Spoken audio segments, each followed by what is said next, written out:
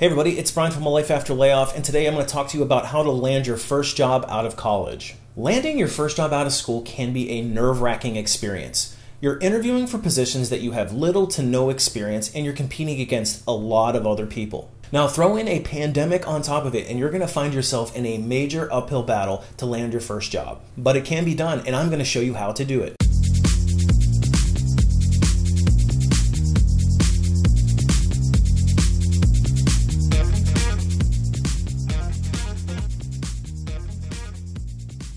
In my career, I've hired hundreds of new college grads into entry level roles. I've been in charge of my company's university relations programs. I've gone to the career fairs. I've partnered with the university departments in order to target the best and the brightest. And in that time, I've seen my fair share of candidates. Some of the students that I spoke with were excellent, and I just knew they were going to be future leaders. Then there was others that were just kind of average.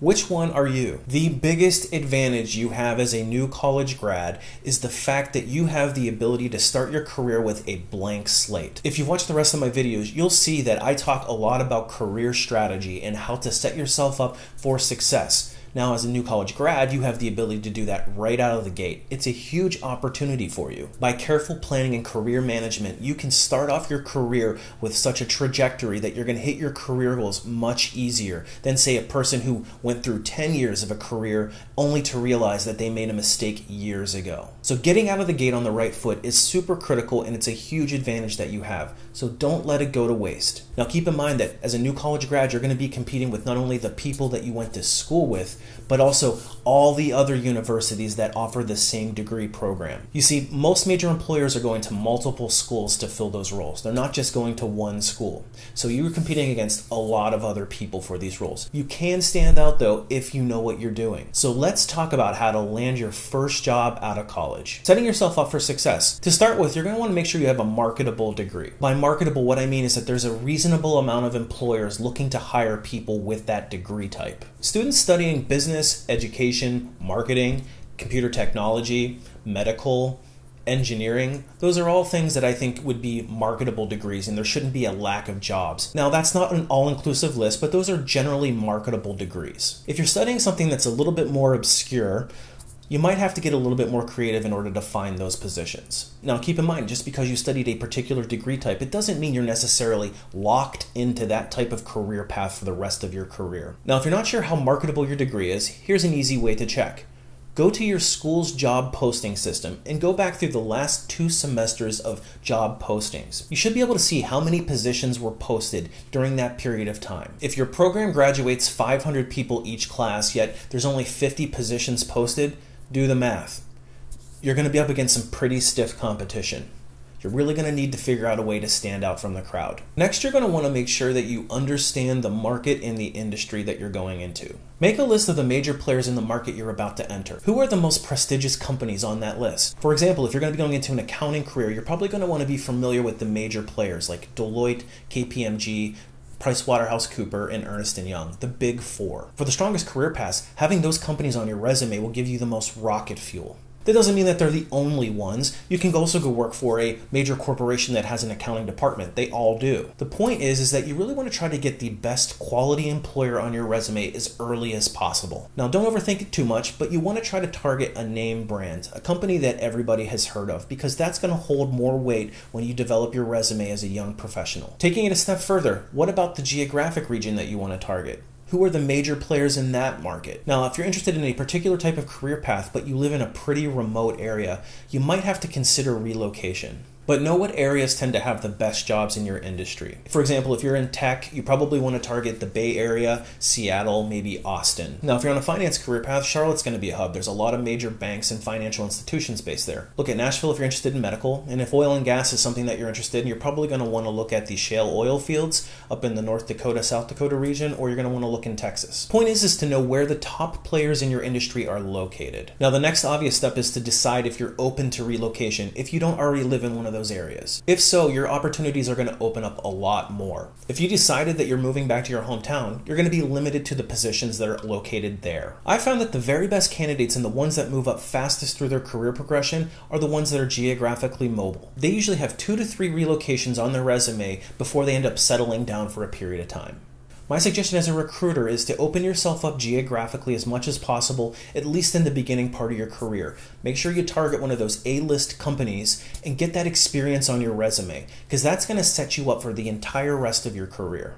A few years into your career, as you've gained experience and set up a nice foundation, then you can be more selective about the location. Okay, now that you know where the market is located and what types of roles are out there, you can start to formulate what you want to do with your career. Think about the next 10 years and where you'd like to see yourself ideally. Do you want to be a technical expert? Do you want to lead a team or lead a department? Do you want to become tenured in a university? Do you want to open your own practice? Do you want to become a business owner? As a recruiter, I am certainly going to ask you this question in an interview, so make sure you know the answer to it. Don't answer my question with a I don't know, because you're never going to get hired. As you decide the career path you want, start to narrow down your list of opportunities, and that will help you decide where to focus. Look at companies that have both a geographic and industry fit because those are the companies that you're going to start to target. So, where do you find these jobs?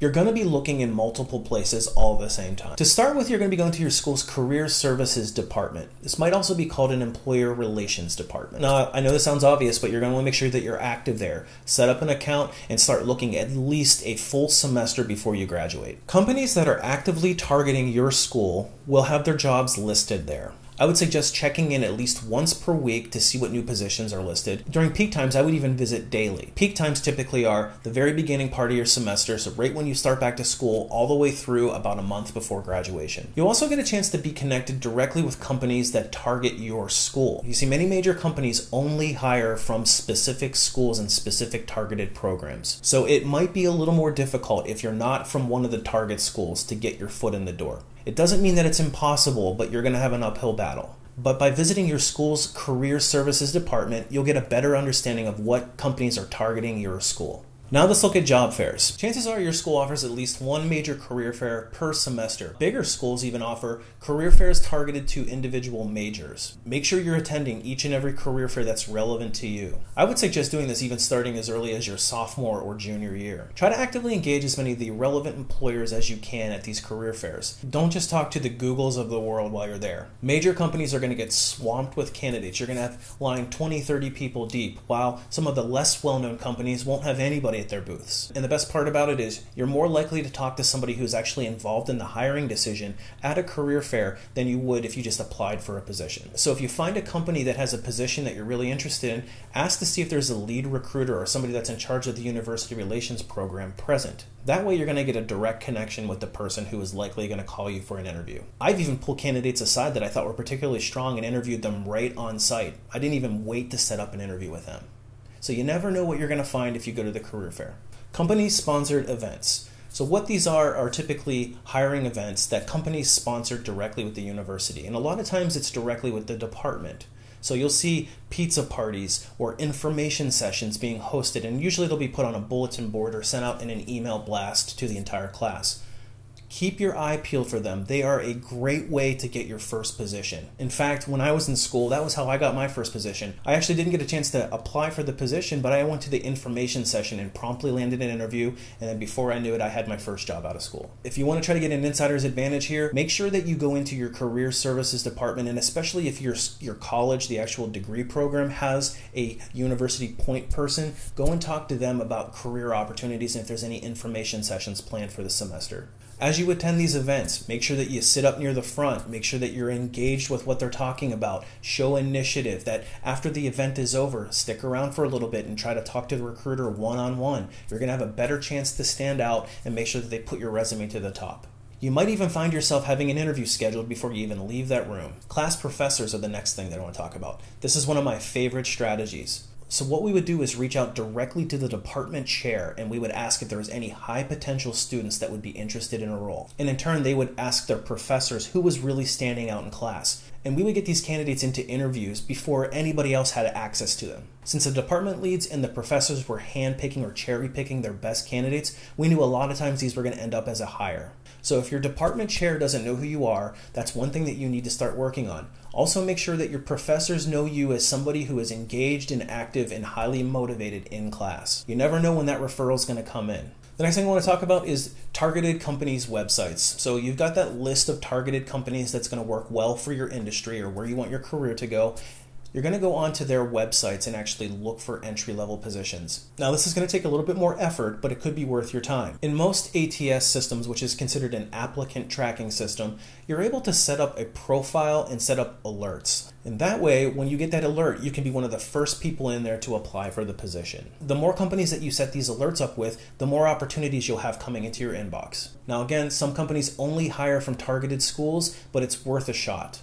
And the last major way I want to talk about how to find those entry level jobs is job boards. Now, you shouldn't be neglecting your LinkedIn presence. That's going to be one of your biggest. And then also make sure you check out Indeed and Career Builder and all the kind of standard places that you would normally look for a position. But make sure that you're somebody who's actively engaged and showing that you're really trying to network. How to stand out from the crowd. So, you've got a lot of other candidates that are probably doing some similar types of outreach to employers and trying to get those first jobs. So, how do you make sure that your name is called and not theirs? You're going to need every advantage possible to get a leg up. And I've got a hint for you your classes are not going to help you. You see, every single candidate these companies are going to see has the exact same classwork as you do. So you can't use that as an advantage. So it's not enough to rely on your classwork alone to qualify for a position. So, what candidates do stand out? For me, it was candidates who had industry experience already. How do you get industry experience if you're entry level? Through internships and co ops. If you've gotten to the point where you're actively looking for jobs and that means you're getting close to graduation, hopefully you've done at least one internship. The more the better. Not only do these help you gain real life experience in corporations, but you also get a chance to learn what you like and you dislike about the job. For example, if you're an engineer and you think you want to work in a plant, try an internship in a plant to see if you even like it. While you're at it, try another internship where you work in a design firm so that you can try the exact opposite.